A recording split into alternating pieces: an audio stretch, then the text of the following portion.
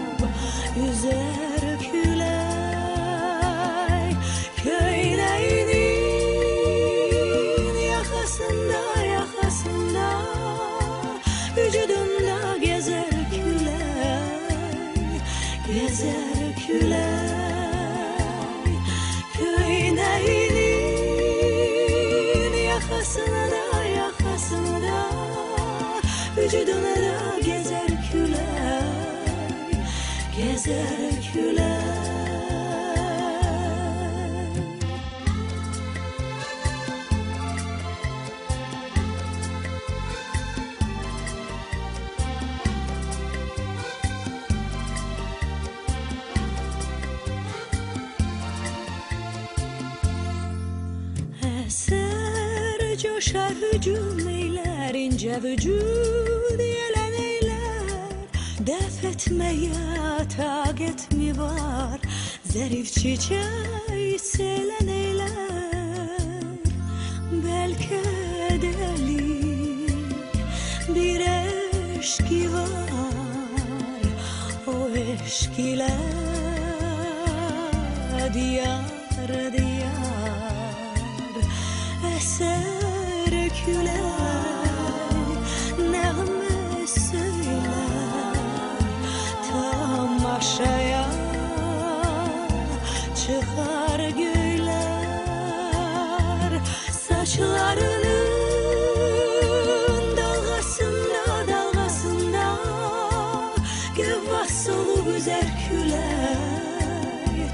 güzel külay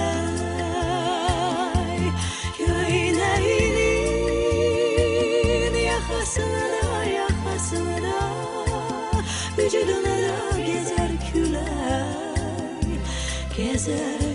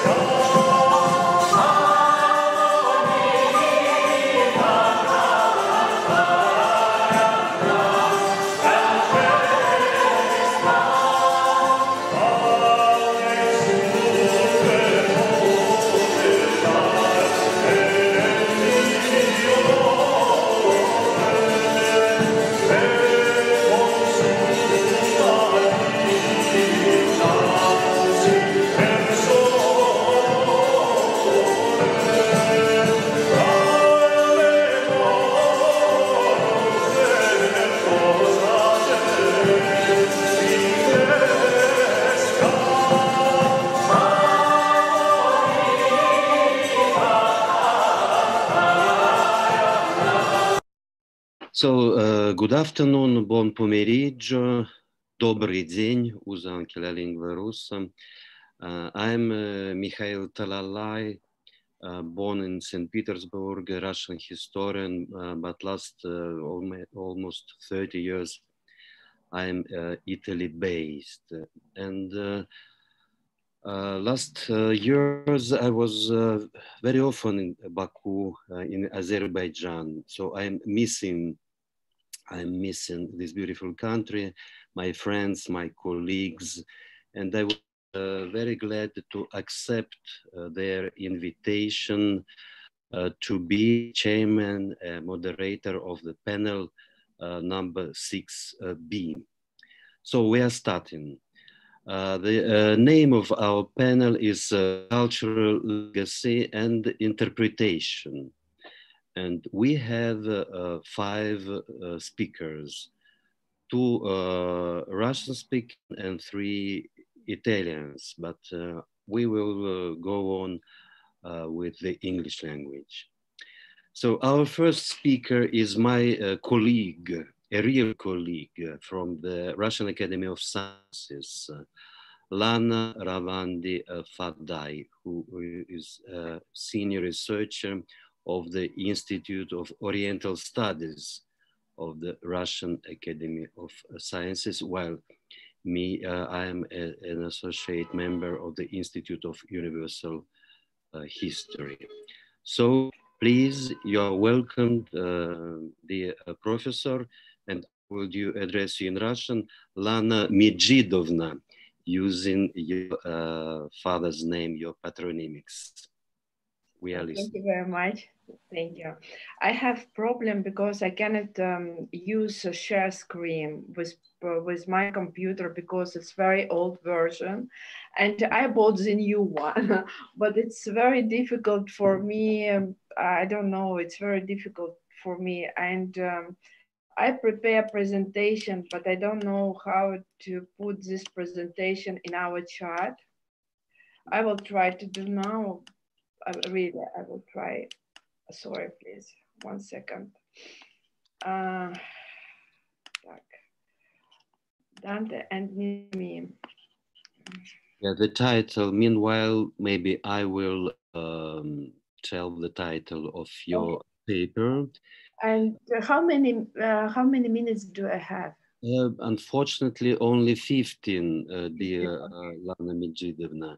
Okay minutes and I have to be very uh, strict. So I have control time and now I will switch on my chronometer and we are starting. Uh, okay. Um, uh, it's my pleasure to greet the participants of the conference and I would like to express my gratitude to its organizers.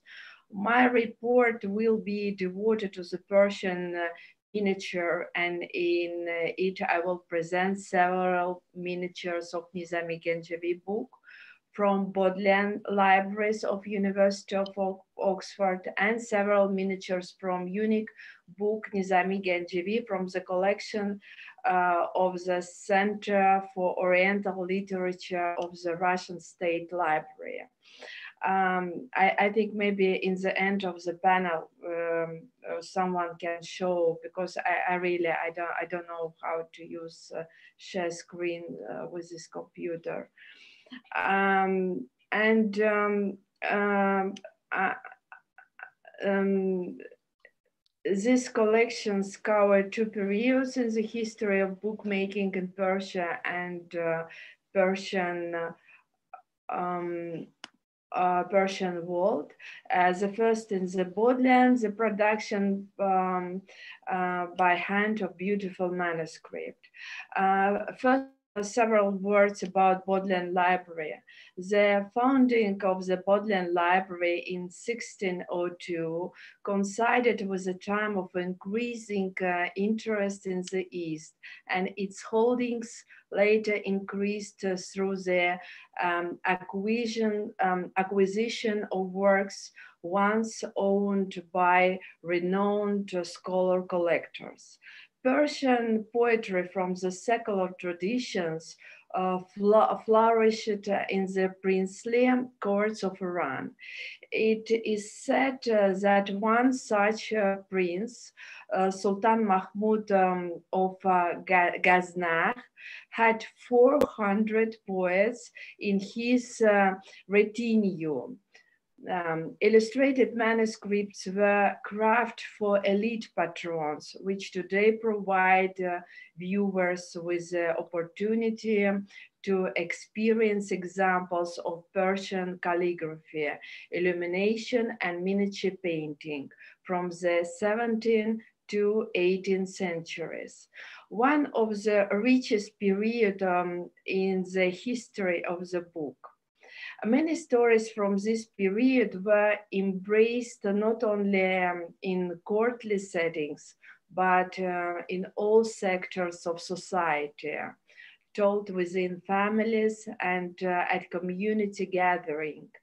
But the manuscripts naturally were available only to an elite few. Uh, diverse themes of narrative and uh, mystical poetry appealed especially to audience uh, in Mughal India and Ottoman Turkey, and eventually to audience in the West.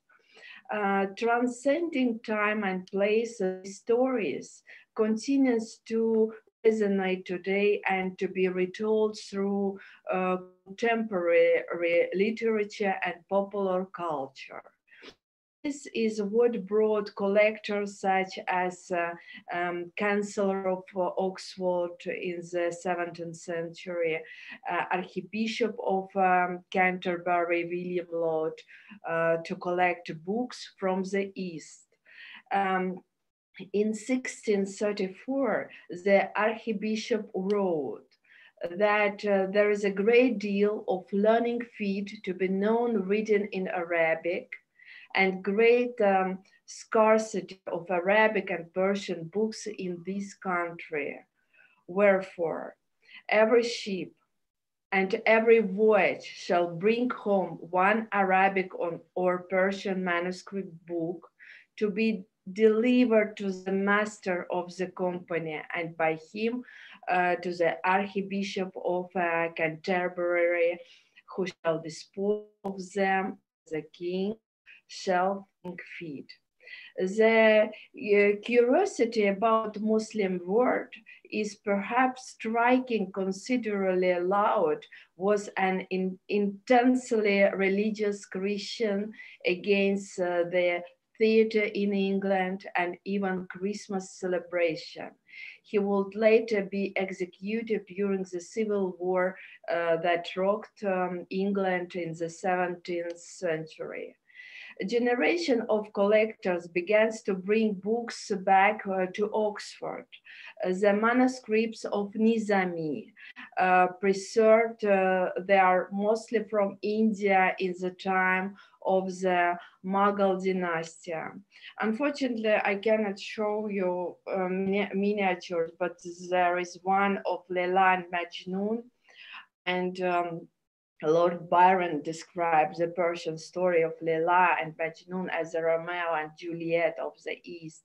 Uh, Majnun, which means possessed by spirits or crazy, was the name given to the semi-legendary 7th, uh, 7th century Arab poet um, ibn Mulawa, um, when um, he uh, reputedly became mad with love for Leila, his cousin.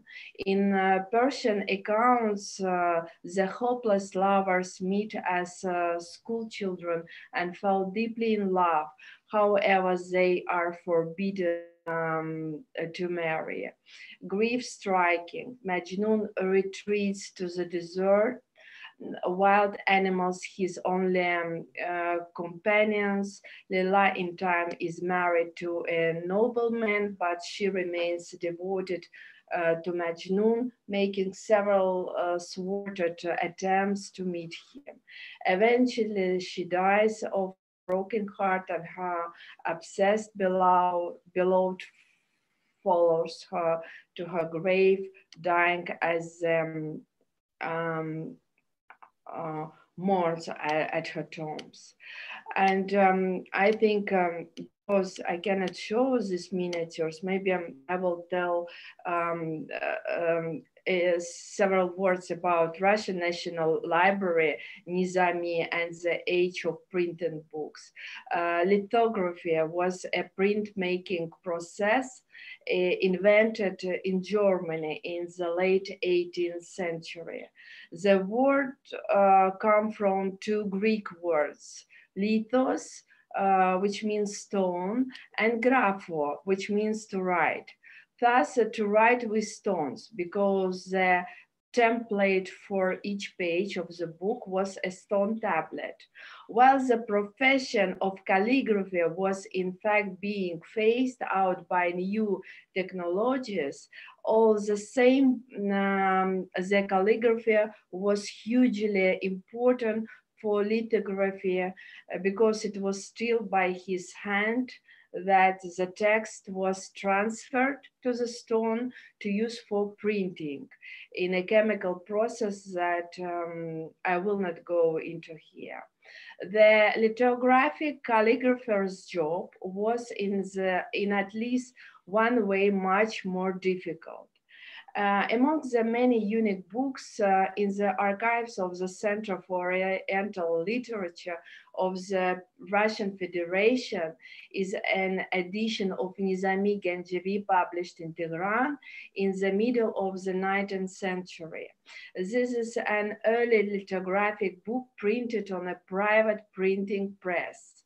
Uh, the legacy of the outstanding representative of classical poetry in the Persian language, Nizami Ganjavi, as we have already seen, um, occupies a special place in the history of Iranian manuscript books and also of Iranian book printing during the period of modernization during, during the Qajar dynasty in the 19th and 20th century.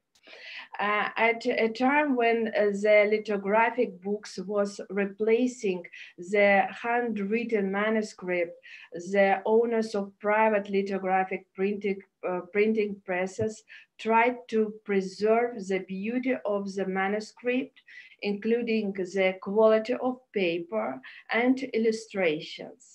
In some cases, artists made drawings uh, directly onto the, onto the, survey, uh, the surface of the pages after printing using the same artistic principles and technique, uh, techniques as a uh, manuscript books.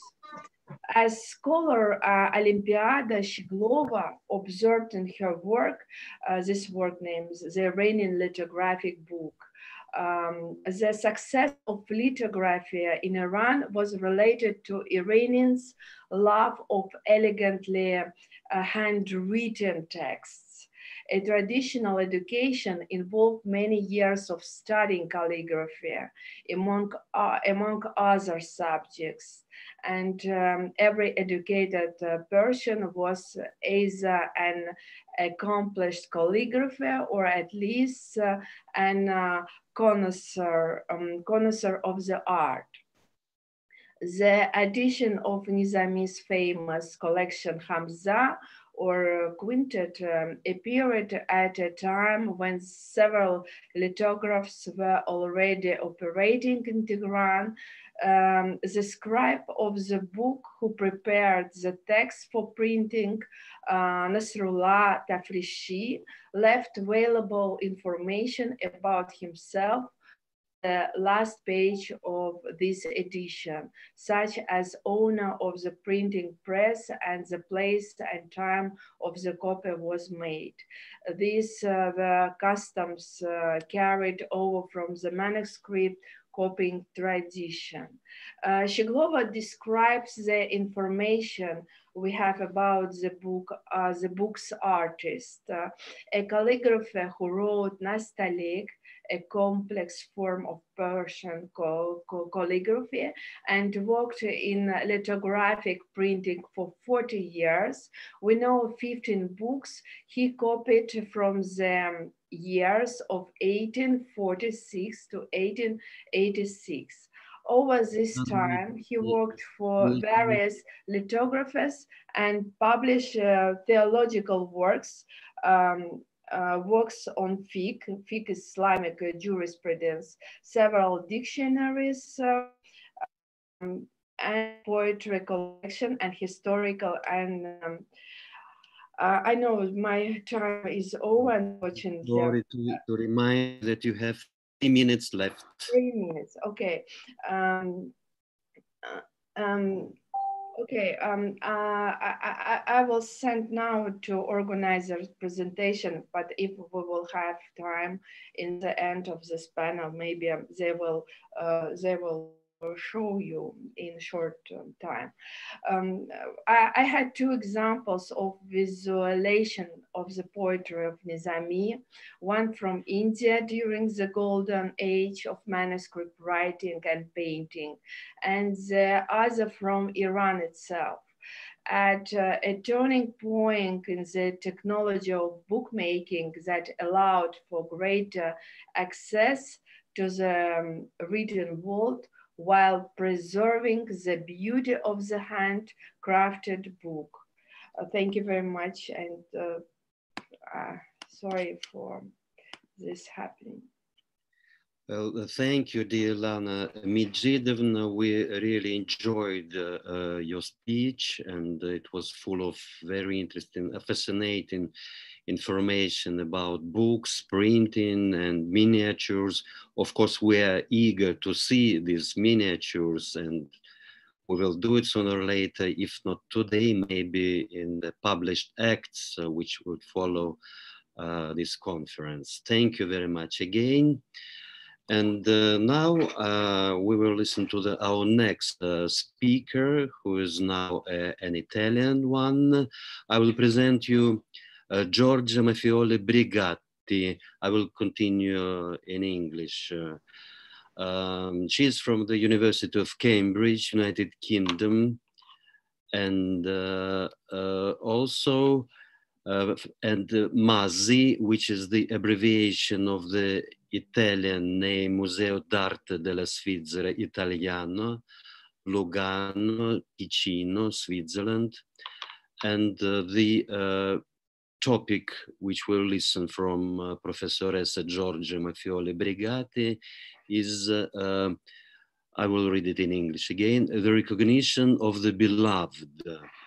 Khosrow and uh, uh, Shirin meet at the palace. You're welcome. please, uh, 15 minutes again, not more. Thank you very much. Thank you. I would like to thank all the scientific committee and in particular Professor Marina Teresa Giaveri uh, for uh, inviting me to speak at this conference today. So I would like to share my screen now. So I can start. So the recognition of the beloved, Khosrow and Shirin meet at the palace. So I would like to center my, my speech on the idea of recognition of the beloved, because it's something that goes on a lot during the story of Khosrow and Shirin.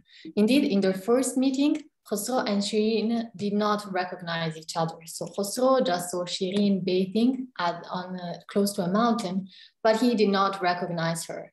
And this goes on in the story when there is multiple meetings between Khosrow and Shirin, but they can never be together for a long time. And so I would like to, this is gonna be the lead image of the speech and it's the, um, the meeting between Khosrow, here represented on a horse, and Shirin just looking at Khosrow from the window.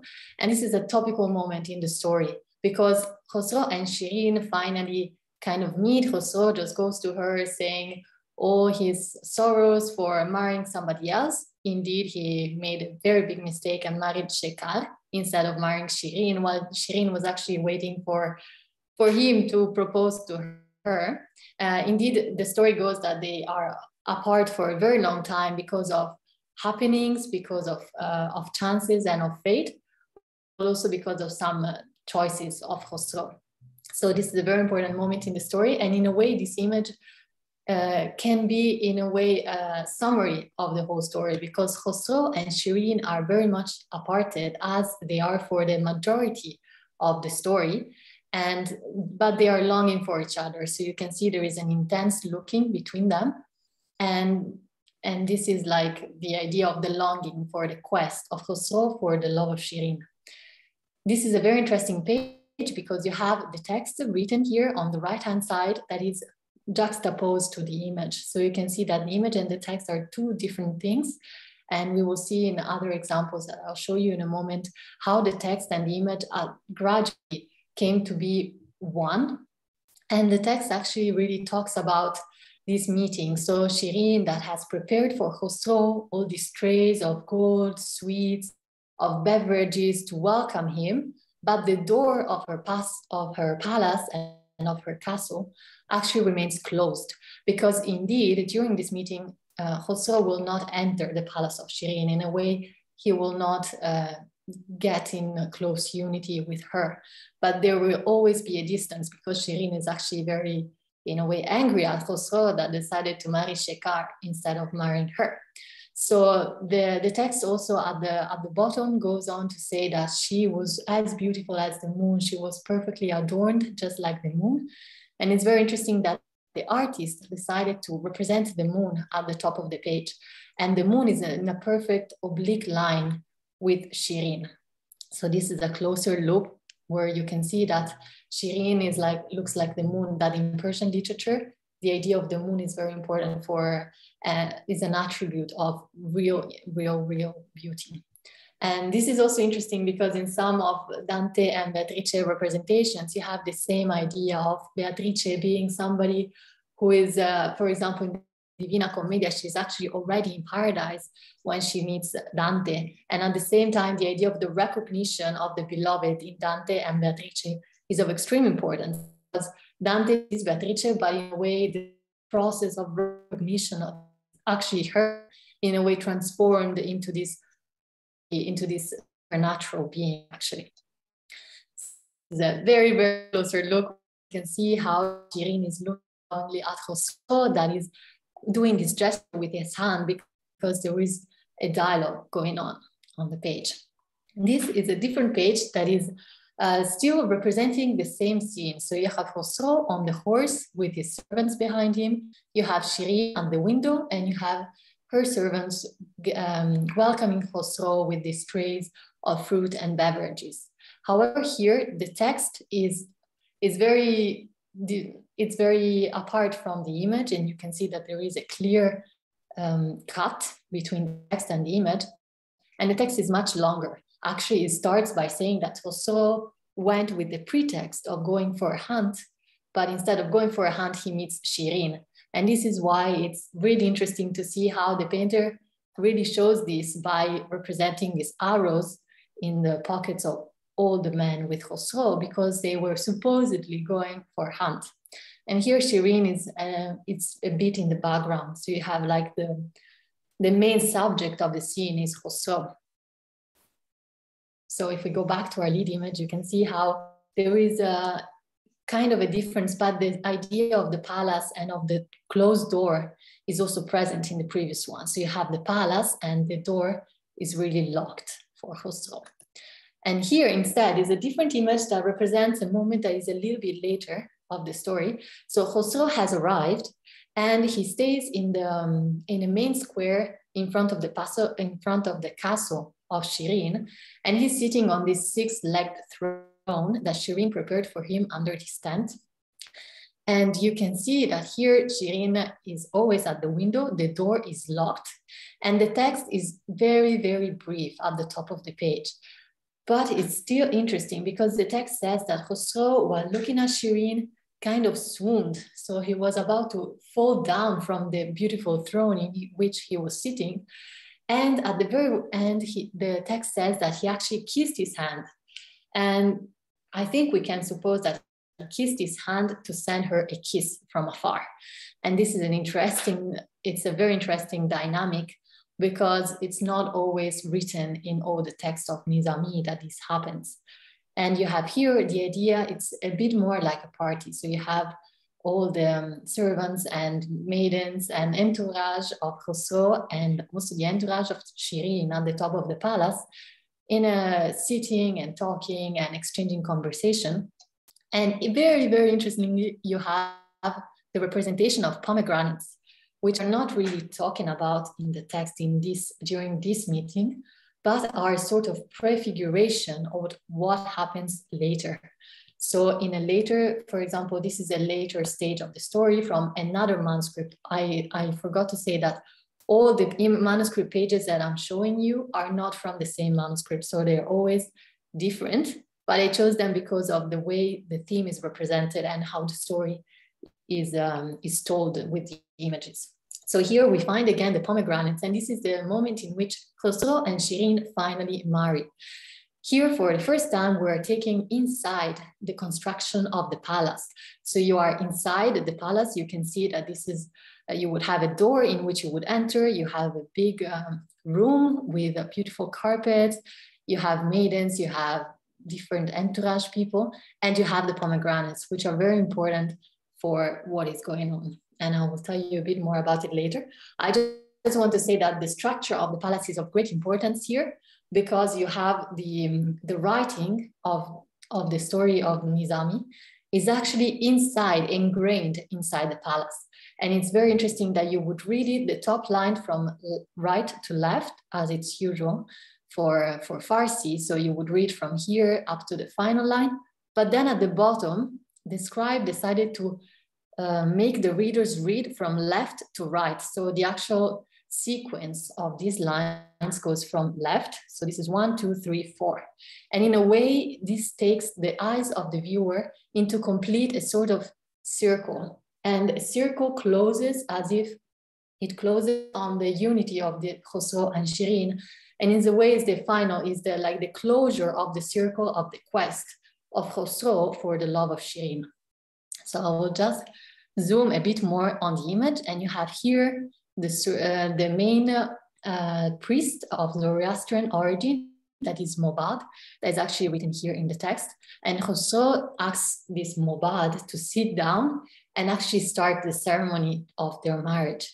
So I will tell you now that the pomegranates are a very important fruit of paradise. And it, they, it, the pomegranates in general represent fertility, happiness, and to have them during a marriage is very important. Here you also have the cypress, that is the symbol of the beloved, of the slender figure of the beloved, and it's very important in Persian poetry.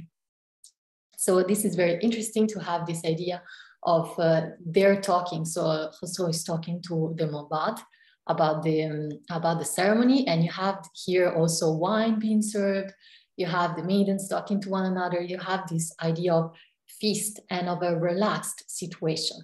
Instead, if uh, this is another closer, closer look up, just to show you the details of the manuscript, how beautiful it is and how detailed it is.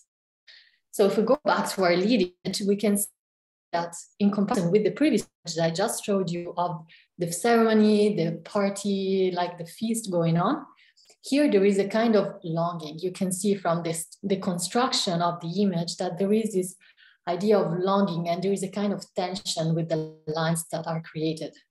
And the same tension, it's possible to see in this other beautiful illuminated that it's a bit later on. So it's towards the end of the Safavid period. So it's 1632.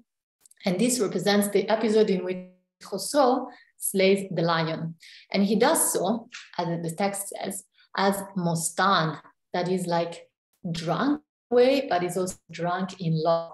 So because of this, little sort of drunkenness he's in, he decides to slay the lion because the lion entered into his um, into the place where he was staying, and he just stood up and went to fight for this lion. And it's very interesting because in this text, the text is um, really leaves the tension to rise because it finishes saying about the, the um, the fighting between Khosrow and the lion, but it doesn't say how it ends. And similarly, the painter decides to represent Khosrow fighting with the lion, but it doesn't say how it ends. So there is this idea of rising tension. And the very important thing about this, this beautiful illuminated page is that the very artist signs at the bottom. So he signs his name down here as Reza Abbasi. That was one of the most important um, painters at the court of the Safavid ruler. And you have the image that starts to go beyond the borders of the frame. So you have here and here, you can see that the image itself goes beyond the border of the frame as much as here. So it's like the lion just jumped from outside the page. And another very interesting thing. Sono scusa che. Grazie. Thank you very much. And here we have this mystical figure represented uh, behind the, these two on, onlookers. And we really don't know who this figure is, but there are many ideas going on about it. And I think it can also be a kind of, as it's represented in grisaille, so black and white, it might be a reference to some of the printed images that were circulating in Iran at the time. I would like to end just by showing you this, um, this very interesting artwork by Shahzia Sikander, who is a contemporary artist of today.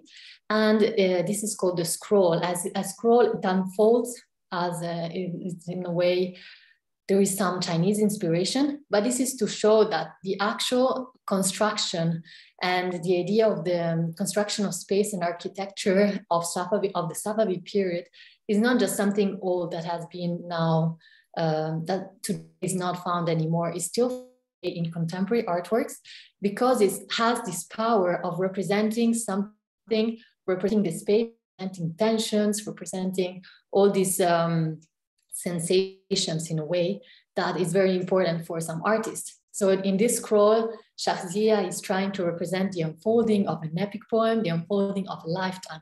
And in a way, it's a sort of representation of her own self. And very quickly, you will see herself walking up the stairs, going up to the uh, upper rooms. There are uh, many references to Safavid culture. And at the end, you have once again the idea of somebody looking from the window, somebody sitting below, and it's herself here making a self-portrait or a portrait of the woman seated in a sort of interesting way of um, rereading the Safavid architecture in contemporary moments. So thank you very much. Thank you. Uh, grazie, uh, gentile dottoressa. Really, uh, we are grateful for your support for each uh, which has left us to revisit one of the beautiful love romantic poems of Nizami, Khazrov and Shirin, and uh, which was accompanied uh, by, um, I would say, mm, a rich panorama of uh, signs, uh, symbols, uh, spaces, and beautiful images. Grazie molto. Thank you very much. Thank you. And now we will pass uh, um, to our third uh, speaker, who is uh, Dr. Carla Forno from uh, Fondazione Centro di Italy. Vero? Yeah. Bene, grazie. Thank you very much. Eh, ringrazio gli organizzatori e saluto tutti i presenti. Il mio contributo intende porre in evidenza i momenti salienti del rapporto dialettico instaurato. As far as my presentation concerned, I would like, like to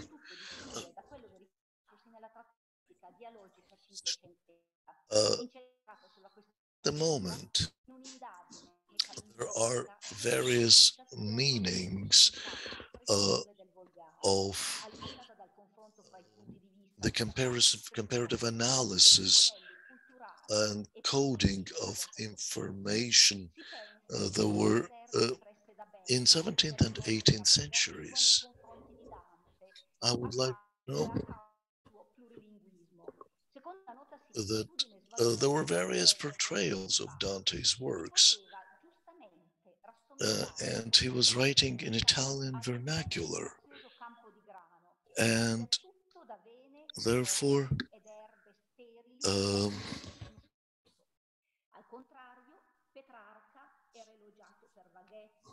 the uh, чуть-чуть слабо идет. Я плохо слышу. Извините. le voci si erano moltiplicate, contrapponendo modelli culturali, politici, sociali, And propri uh, it was hard to uh, make these uh, presentations. Uh, both Petrarca and Boccaccio and Toscano, uh, they, uh, uh, there were various uh, definitions made, and uh, the inscriptions increased in number. And Dante uh, actually was using the Florentine um, style. So it was Niccolo Liburnio who actually presented. Uh, uh, so the grammar of Petrarca and Boccaccio in Dante's interpretation was slightly different. Uh, and there are three books uh, published. Uh, one of them is attributed to the style of Dante, and a lot of expressions are explained there. For instance, it is mentioned that uh, the vernacular, the popular Italian uh, expressions and languages and uh, uh, phrases were not met uni- unanimously by the audience in general.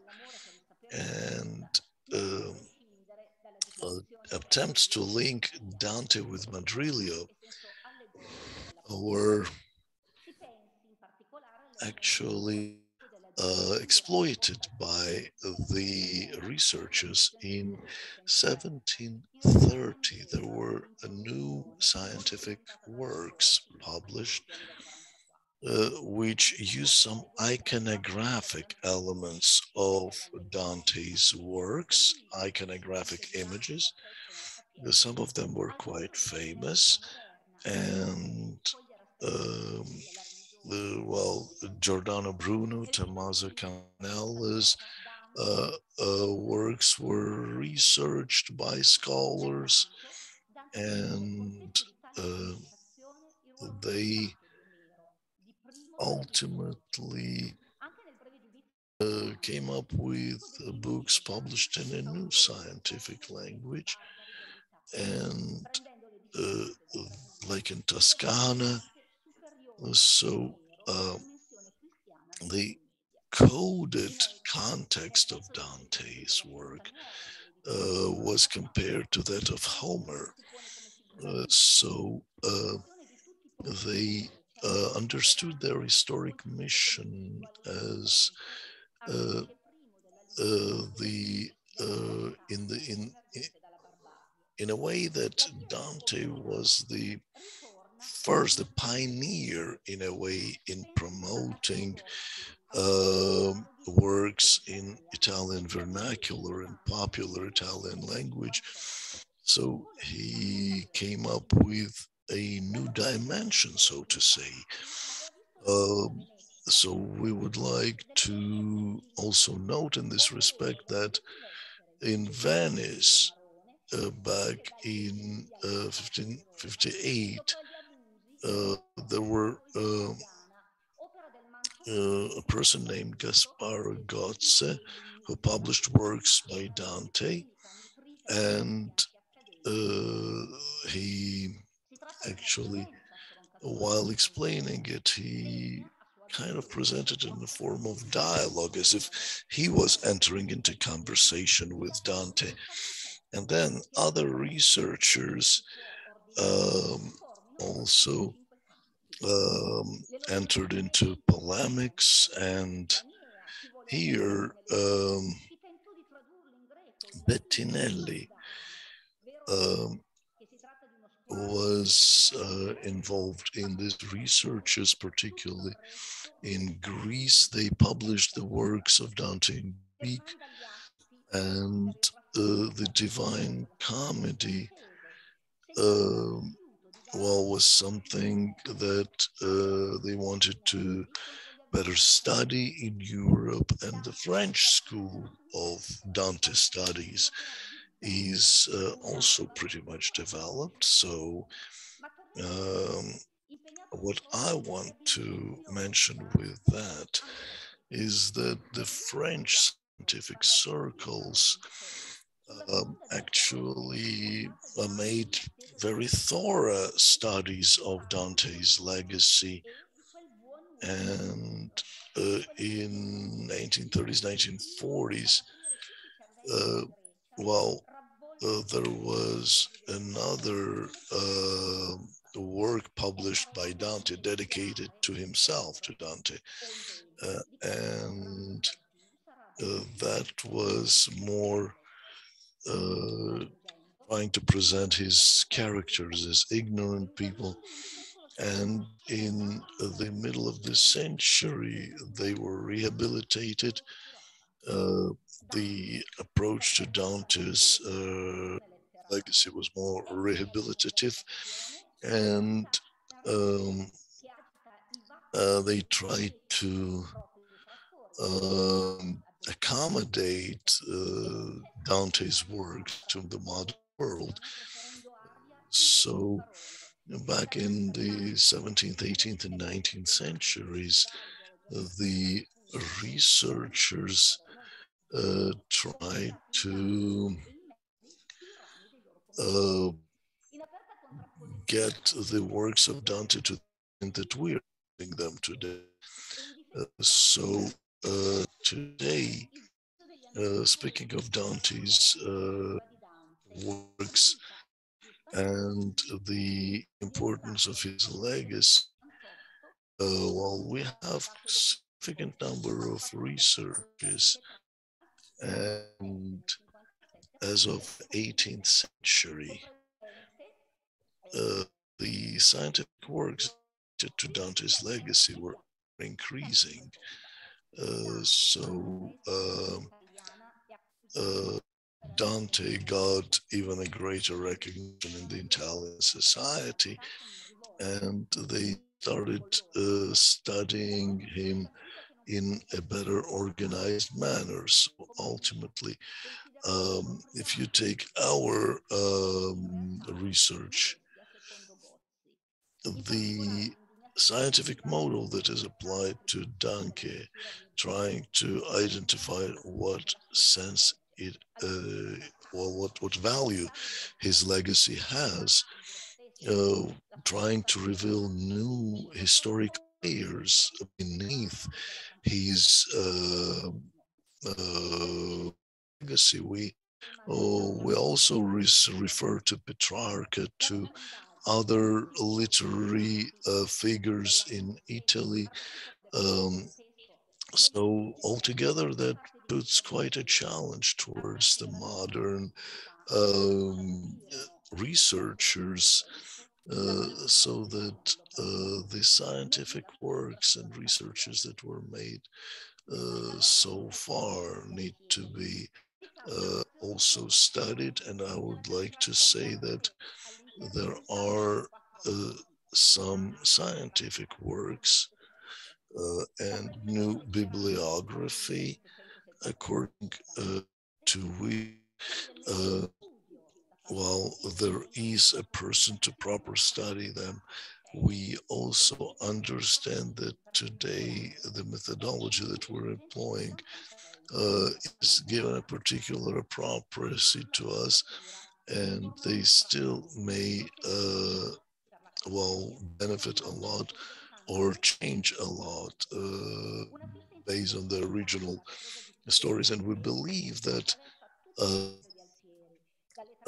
over time, Dante's uh, works will become more and more topical for the problems of the 21st century, and that will uh, boost up the new books to be edited. And uh, if we uh, have that as our purpose and look at the scientific works published so far on the issue, we'll see that most of them uh, deal with the works that were penned back in the 18th, 19th centuries. So if uh, today we are employing the, uh, pro, the if we uh, enter the Museum of Antirani, uh, well, which is one of the um, uh, well, and uh,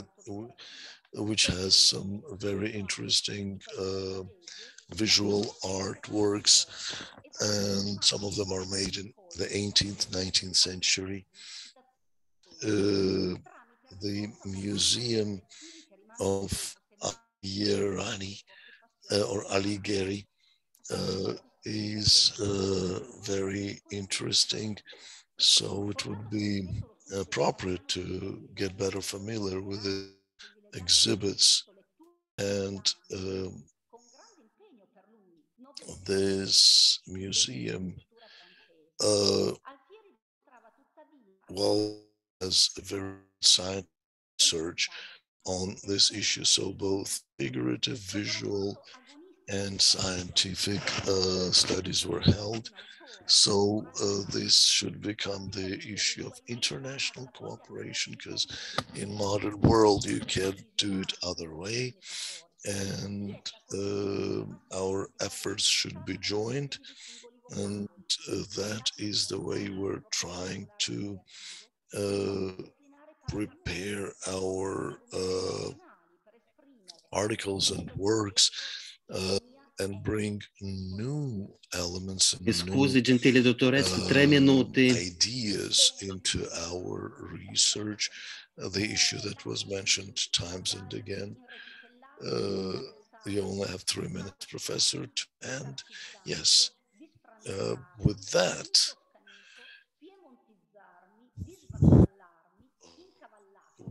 have uh, the variety of uh, descriptions of various regions in Italy, and uh, this is uh, well, the studies of this big and famous um, works uh, should be systematized and um, streamlined, and this is also very important for us. So uh, the um, we tried to uh, introduce the new system, uh, which is very encouraging and provides us with an impetus to furthermore continue this efforts down the road.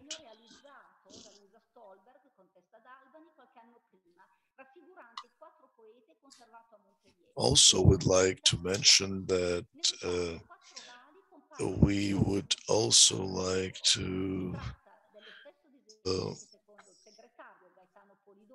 to get the translations of these uh, works and uh, share uh, the works with our colleagues because that's the only way we can really promote the poets in a new manner, in a very interesting way, in an unexpected format. So um, uh, I think that our joint efforts may yield very positive results. And uh, we uh, should constantly work on that and we should furthermore reinforce our cooperation in that particular area to join our resources uh, and with this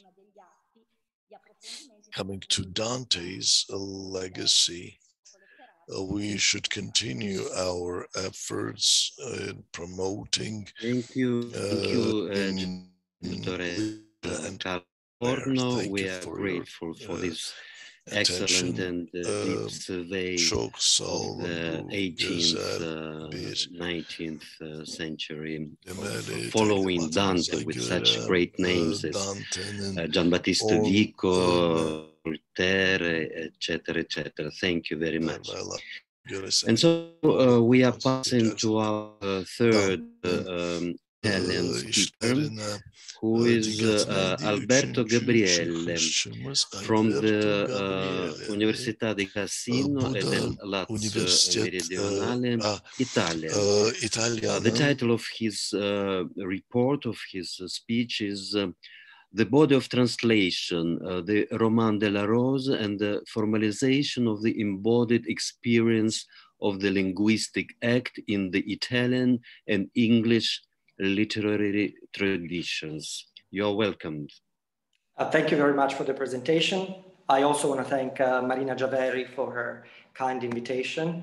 And I'm particularly pleased to be joining this uh, discussion after Professor Talibzadeh uh, paper from yesterday, which gave us this interesting insight into the Zoroastrian origin of the image of the rose. So I'm working on another rose, which is much more materialistic and sensuous is but it's, as you can imagine, in Dante, both uh, material and transfigure into a kind of divine language that's not written by God, but is a fiction, as Dante says in his uh, treaty uh, De, De Vulgari Eloquentia on writing in the vernacular language.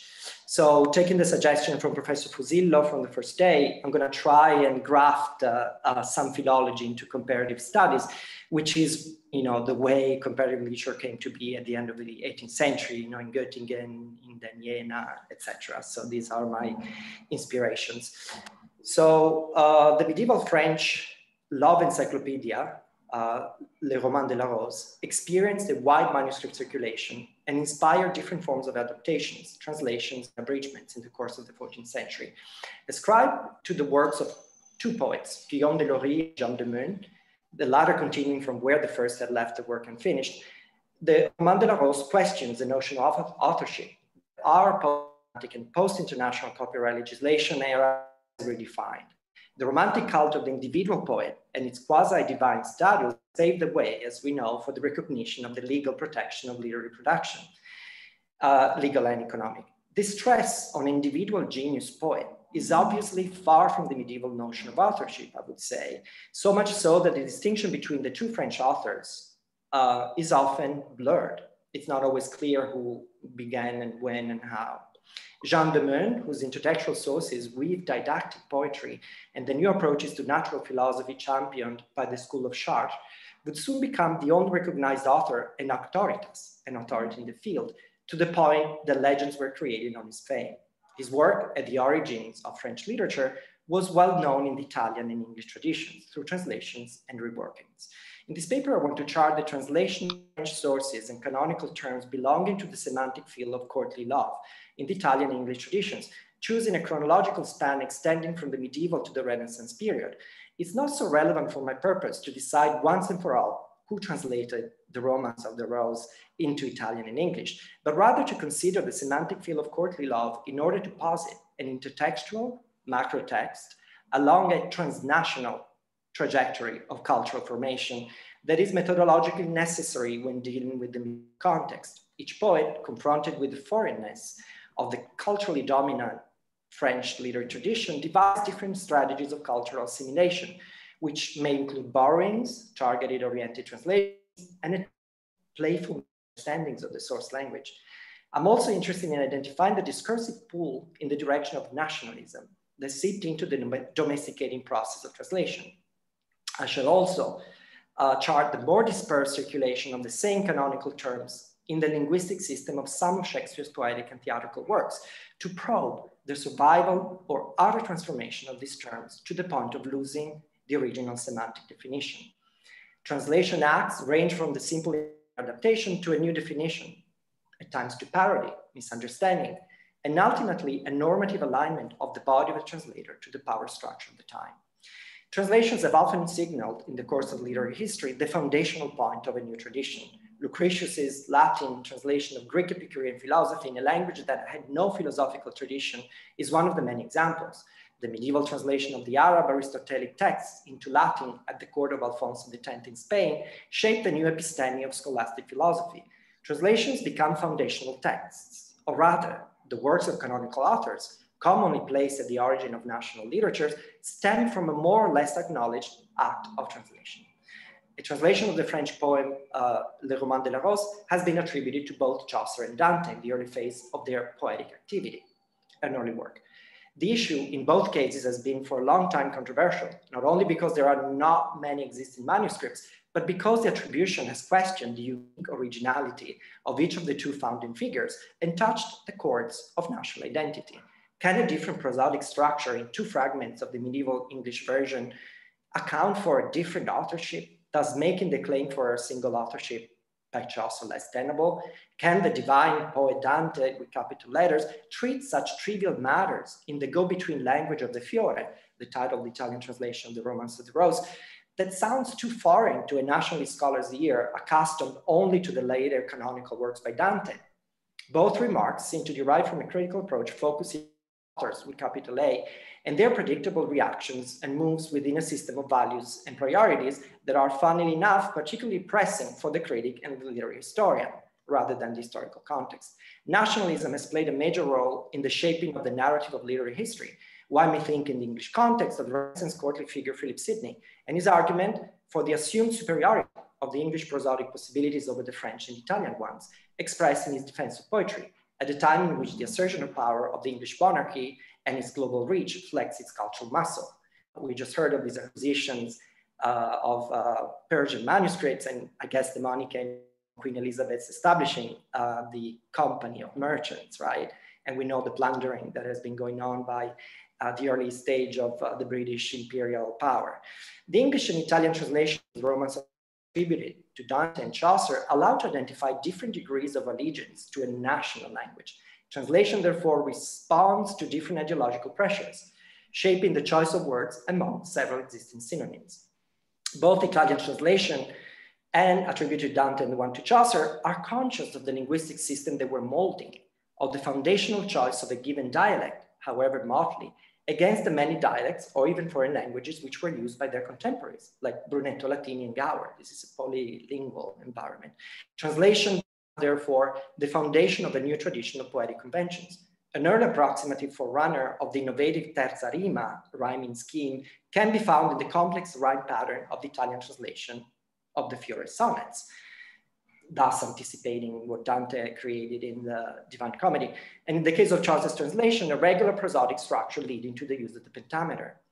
The domesticating process in the Italian English translations, however, takes two distinctive directions the discourse of courtly love in both remain an unaltered modality of genteel perfection that may extend from lyrical poetry to the mien and behavior of the upper classes, represented in the Canterbury Tales by the gentle knight in the prologue, the courteous squire, also in the prologue of uh, Chaucer's uh, work, and the prioress, uh, whose courtesy is stressed again but also not only just the kind of upper classes, but also the aspirations the bourgeois classes that model the behavior after the upper classes, a move that Alyson in The Wife of Bath's tale clearly advocates for with a more materialistic interest.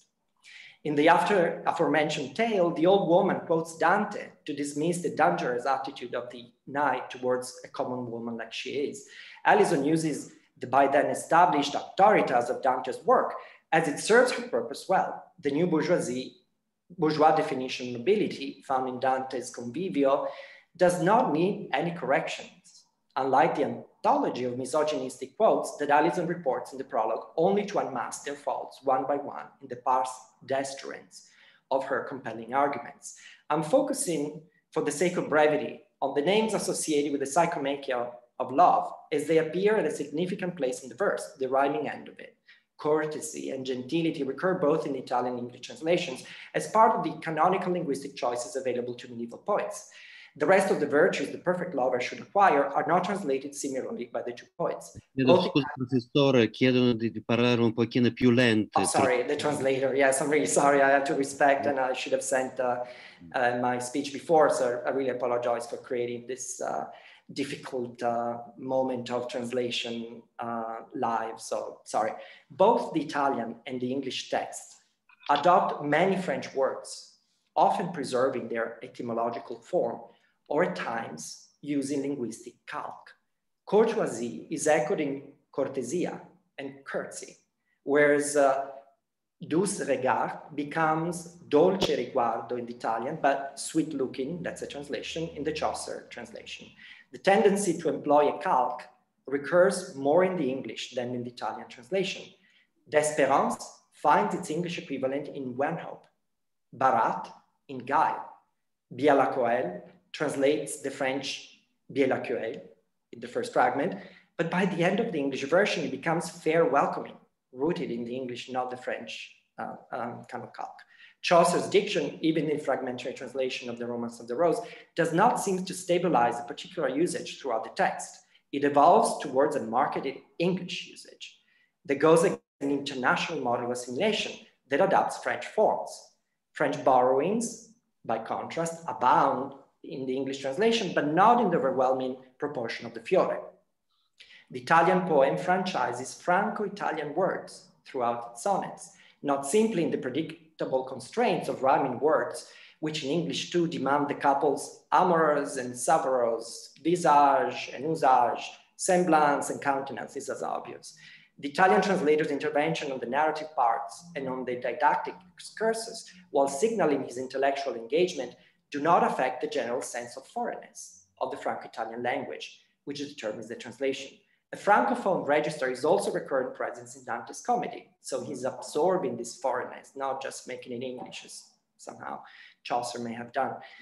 Um, French borrowings like Gibetto, Acismare, and Arra occur also in the Romance of the Rose, which Dante might have had in mind, echoed later in his self-reflexive poetic activity. His indebtedness to the French tradition appears throughout the comedy. So the French is respected as a source of inspiration in the repeated homage according to several French poets, such as the Provençal Bertran de Born, uh, Arnaut Daniel, uh, in Purgatorio, skipping a few, and he speaks in Provençal in Dante's work, so the Italian switches to a different language. The tension between a national language, however poly philologically polyglot it may be, and the foreignness of the language of cultural affiliation is at stake in any literary history, but it is obviously dominant at the time, like the Elizabethan age Matthiessen studied, in which translation was foundational act capable of reviving, reinventing, or creating a new tradition. Chaucer's uh, translation was first published in 1532, appeared among other published translations, uh, contemporary English versions, classical modern languages. The case of Shakespeare is relevant not only because of the source studies that can trace every linguistic or thematic influence deriving from the text of Elizabeth translated works. In Henry V, Shakespeare goes as far as dramatizing the clash of English and French cultures, the tensions of appropriation and the institutional dynamics of translation or malapropism.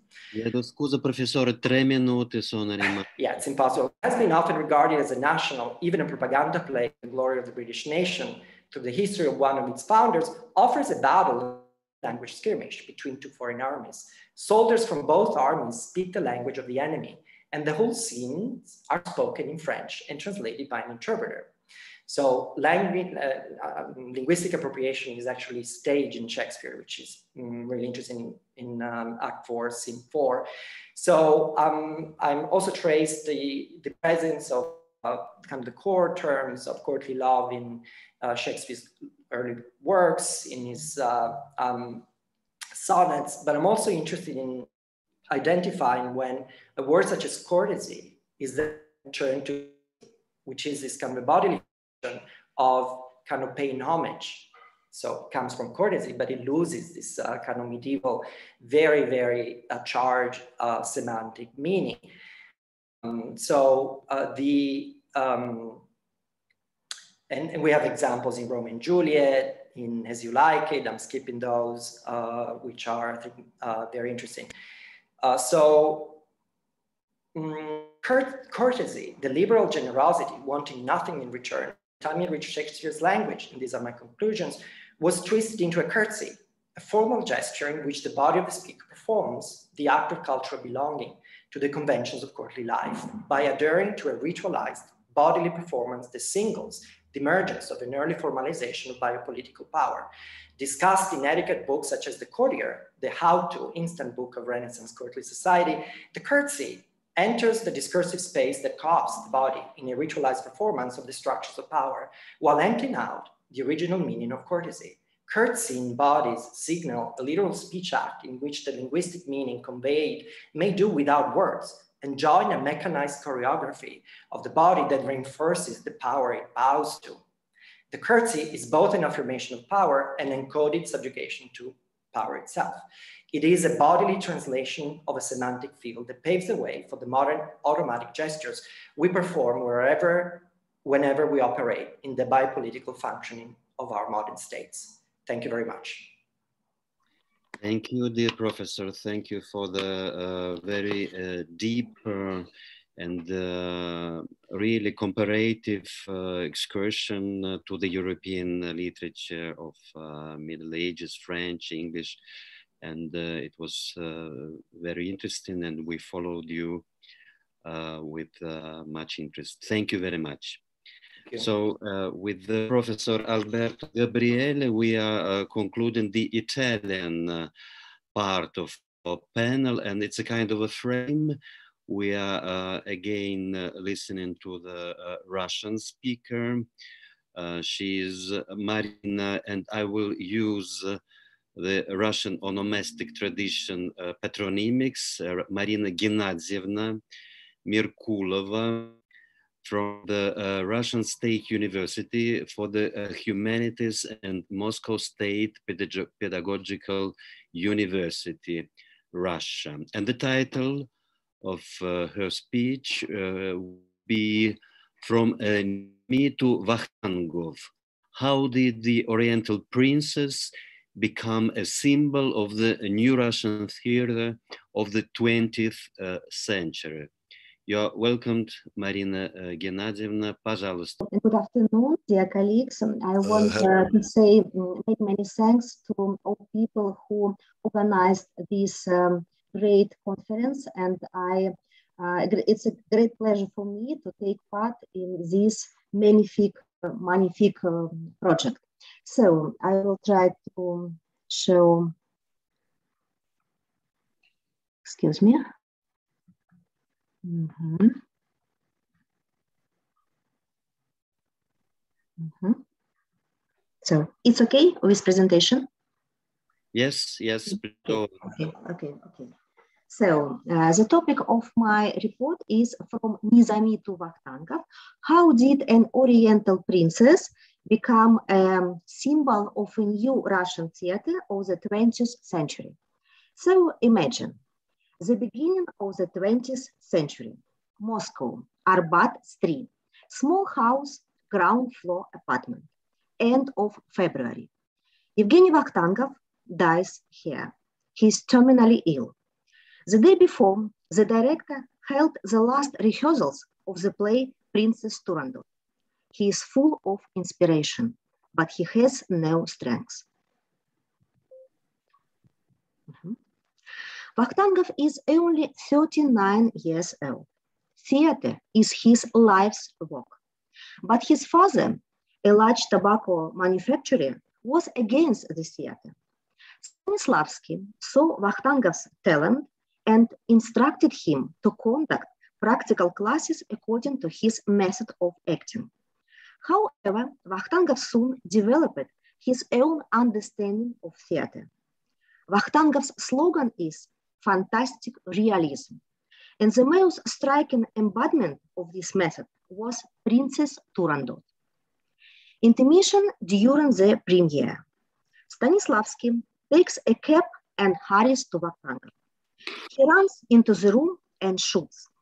Now, wrap yourself in a blanket as in a toga and fall asleep in a Venus sleep. You put on a wonderful performance. I predict a great future for it. And so all is happened. It's been a hundred years ago. Princess Turandot has become the hallmark of not only the theater by Evgeny Vakhtangov, but the entire Vakhtangov school. Vakhtangov's bright farewell had literary roots. The tale Turandot became famous thanks to the Italian playwright of the 18th century, Carlo Gozzi. But the story of the tale is unexpected. The plot belongs to the wandering and is found among different people. It's believed that Gozzi drew it from the works of the medieval poet Nizami Ganjavi. Nizami wrote the poem Seven Beauties at the beginning of the 12th century, and it became a classic of the genre. In one of the seven parts of Nizami's poem, a Slavic princess with a non-Slavic name Nasrin Nush made riddles to the eastern ruler Shah Bahram. The princess thus personified the state which was to be inherited only by the most worthy. However, it's little known that the uh, path of the Eastern princess from Nizami to Gozzi and from there to the theatrical stage of Moscow was quite intricate. Nizami's poem is written in Persian. Thanks to the Persian language, as well as because of the amusing plots, beautiful style, magnificent epithets, Nizami's works spread easily and quickly outside of Ganja. In the 18th century, the magical world of the East burst into European life. The French Orientalist François Petit de la Croix brought Nizami's fairy tale to France. François Petit de la Croix um, was born in Paris in the family of translator, and he inherited his father's profession.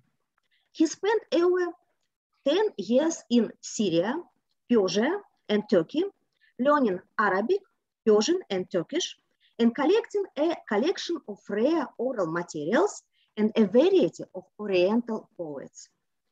At the beginning of the 18th century, François Petit de la Croix published a collection of fairy tales, A Thousand and One Days. No name of authors were indicated in this collection. Francois Petit de la Croix noted that he lost the Persian book in which it was published and didn't know the author. Much later, it was established that Nizami was the author of the tale of Turandot. Although the very Persian name of the princess, Turandot or Turandot, daughter of the land of Turan, undoubtedly belongs to Francois Petit de la Croix. So, um, so um,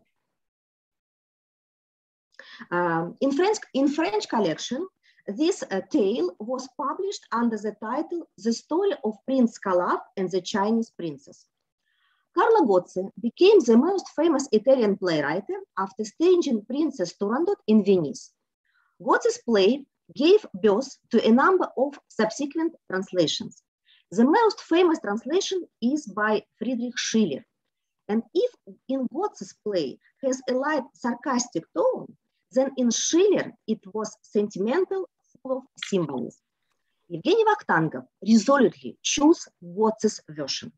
He wanted to play China, which is played in Italy. He told uh, his actors, uh, imagine you are Italian actors who play China. Uh, this means an instant change of pictures This mean um, um, this mean an instant change of pictures. The light on conventional scenery, men went on stage in solemn tailcoats and ladies in evening dresses.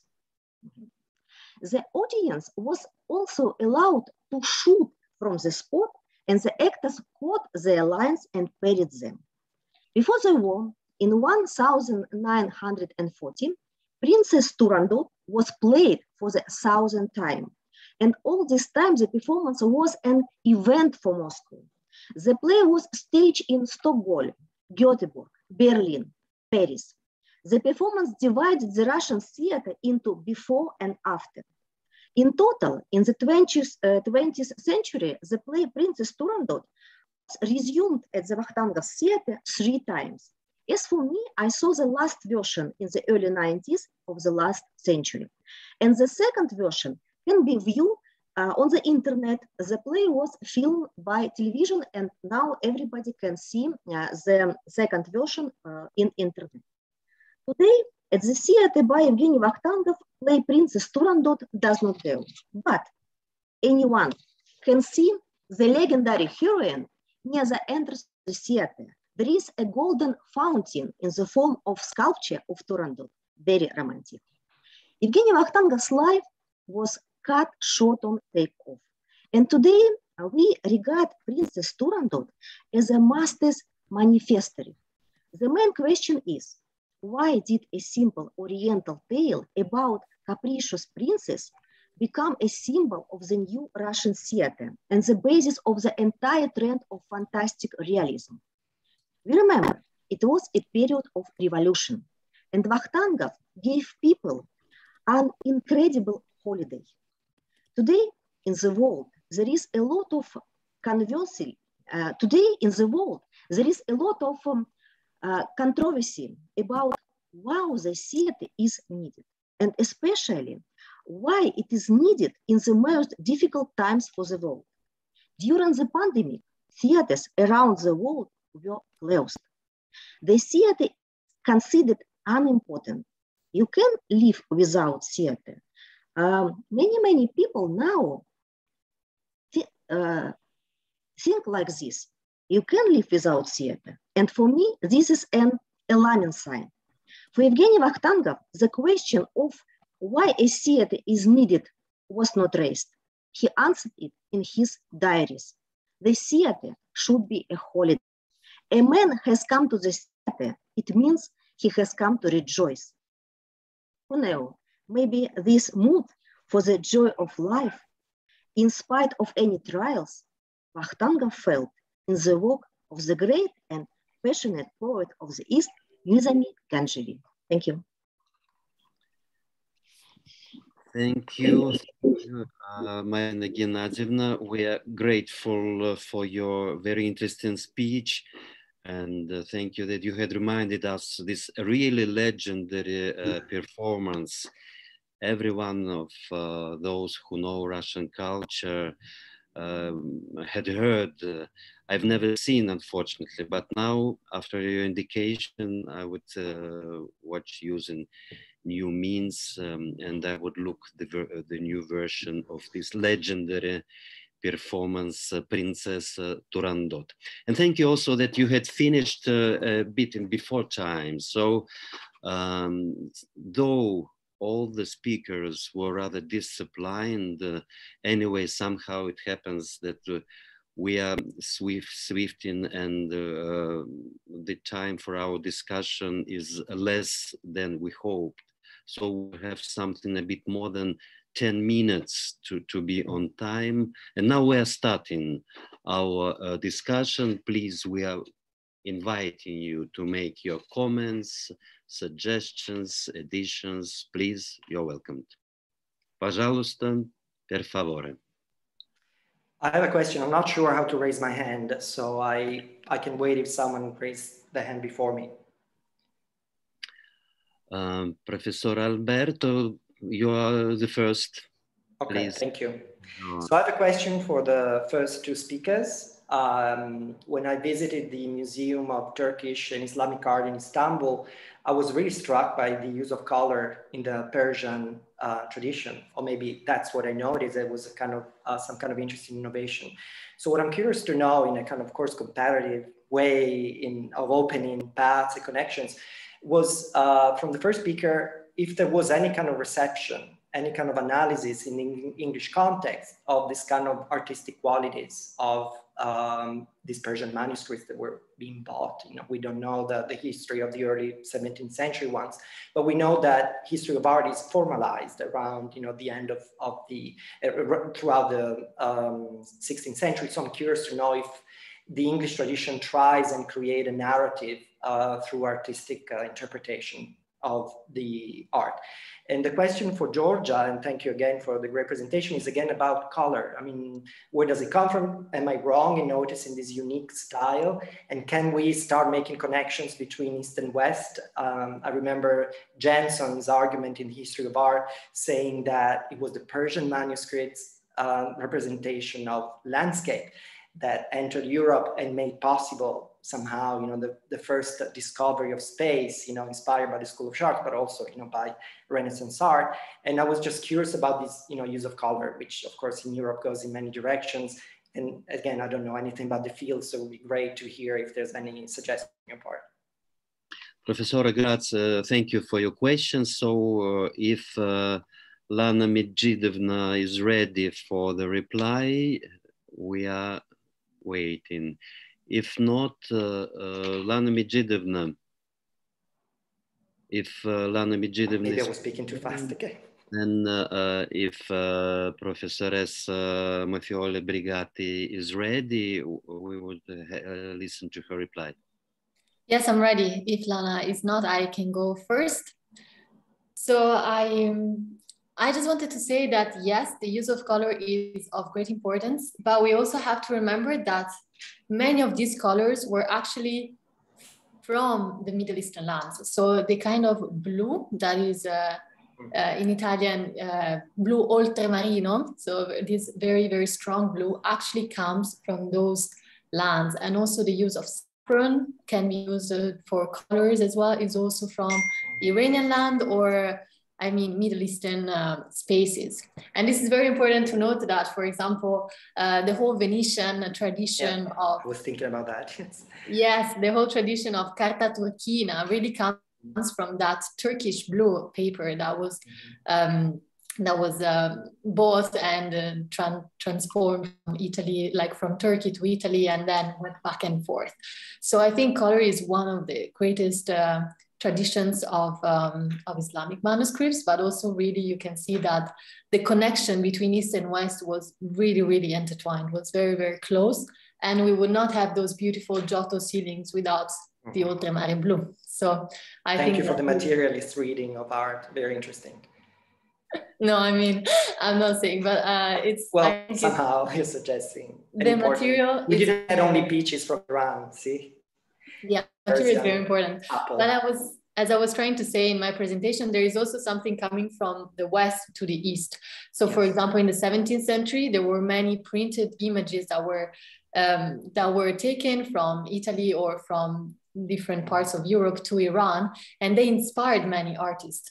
Of course, the connection and the conception of architecture in Islamic manuscripts have been mostly uh, misunderstood because people thought that they didn't know perspective. They had no idea how to represent something in perspective, but it's just the tradition of Islamic manuscripts. So it's a bit different. And this is why I also wanted to say something about contemporary art because today is not just that you just get perspective because it's better. It's a different way of expressing your yourself. I don't know if you answered the question or if you have something more to. Okay. Well, I was thinking of the northern, of the Dutch idea with this more perspective, but again, it's just a pure association. Thank you, George, for your uh, replies. And we have still about uh, eight minutes for other questions or comments. So please uh, raise your hands, those who wants to, to uh, say something, please. You are welcomed. Uh, I will unmute myself. Uh, I have a comment on Giorgia Brigatti's presentation.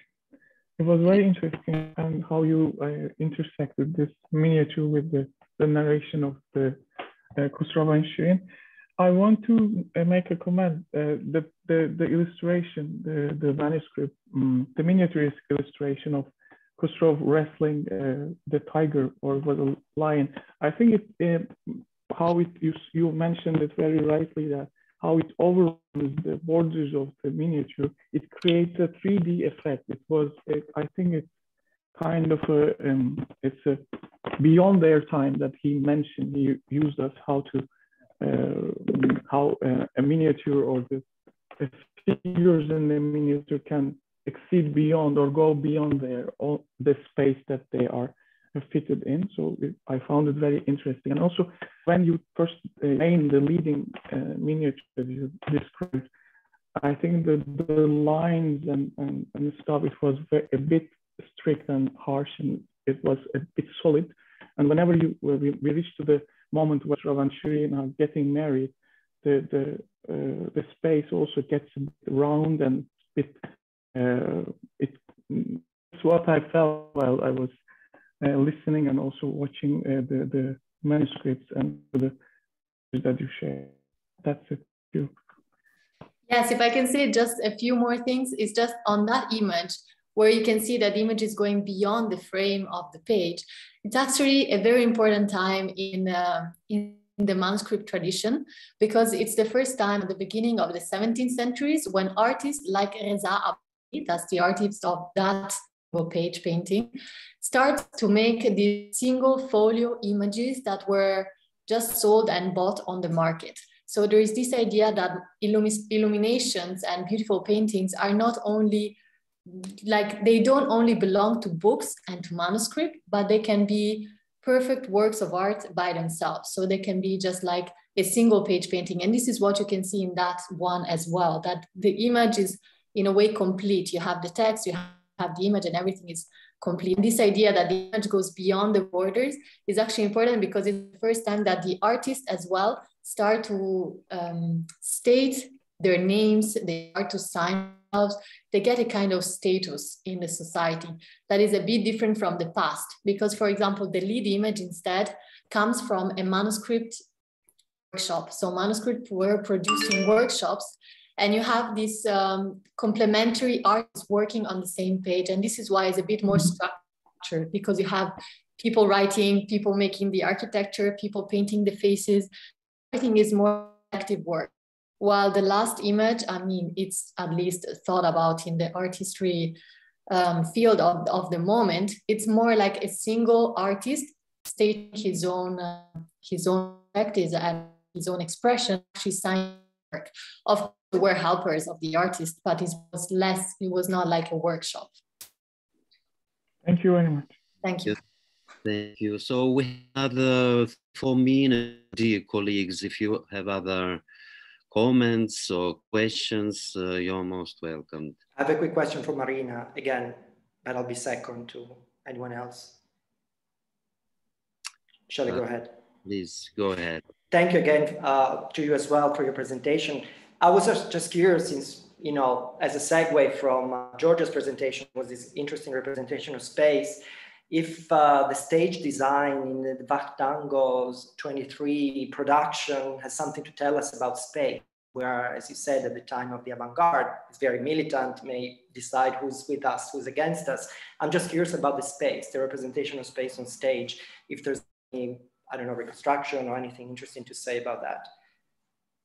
Uh, so about atmosphere in the, the space on stage, the, the props, the stage so, so I, I, I, understand um, okay, uh, Evgeny, Evgeny Vakhtangov was um, um, uh, a great figure in theater who, um, who opened fantastic realism. And fun, what is fantastic realism? It is method uh, where uh, is together um, deeply uh, psychological um, role is very simple uh, no, no large decoration, no big, great costumes. No, only people, only um, his emotions. This is Vakhtangov. So um, um, why uh, Princess Turandot was um, the event for Moscow? Because uh, we all people see new people. It was new people uh, without decoration, without um, special costumes. Um, uh, um, uh, only only light um, uh, light um, light emotion, but not uh, great decoration. so um, I think today theater by Evgeny Vakhtangov today by new uh, director Rimas Tuminas, it's um, the um, it's like um, like legendary Vakhtangov. And uh, if you will be in Moscow, maybe uh, I um, uh, I want uh, you go to um, theater uh, by Evgeny Vakhtangov and see uh, what is now what is now Vakhtangov's method because Rimas Tuminas do um, maybe maybe like and maybe the same. Thank you. Thank you, Marina Gennadievna, for your comment, for your invitation to Moscow. I hope that many. To all, uh, uh, later pandemic finish and we all go to Moscow to I need a visa. I need an invitation. All, all, all.